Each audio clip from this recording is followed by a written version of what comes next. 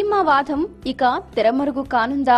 Nandyal కాకినాడల్లో TDP విజయం సాధించడంతో ప్రత్యేక రాయలసీమ నినాదాన్ని అందుకున్న సీనియర్ నేత బైరెడ్డి రాజశేఖర్ రెడ్డి టీడీపీ తీర్థం పుచ్చుకోవడానికి సిద్ధంగా ఉన్నట్లు తెలుస్తుంది. ఈ మేరకు టీడీపీ నుంచి సంకేతాలు కూడా వెలువడుతున్నాయి. తాను పార్టీలో చేరడమే కాకుండా ప్రత్యేక రాయలసీమ నినాదాన్ని భుజానికెత్తుకొని స్థాపించిన రాయలసీమ పరిరక్షణ సమితిని కూడా టీడీపీలో విలీనం చేయబోతున్నట్లు వార్తలు వస్తున్నాయి. వాస్తవానికి బైరెడ్డి రాజశేఖర్ రెడ్డి తెలుగుదేశం పార్టీకి చెందిన నేత.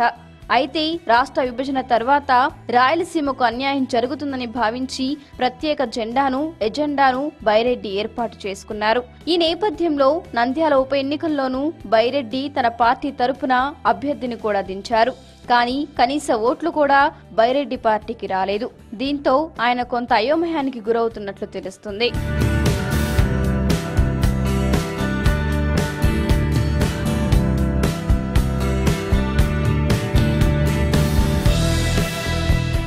ఈ వీడియో కానీ మీకు నచ్చినట్లయితే లైక్ కామెంట్ షేర్ చేయండి. మరిన్ని అప్డేట్స్ కోసం సబ్స్క్రైబ్ చేయండి.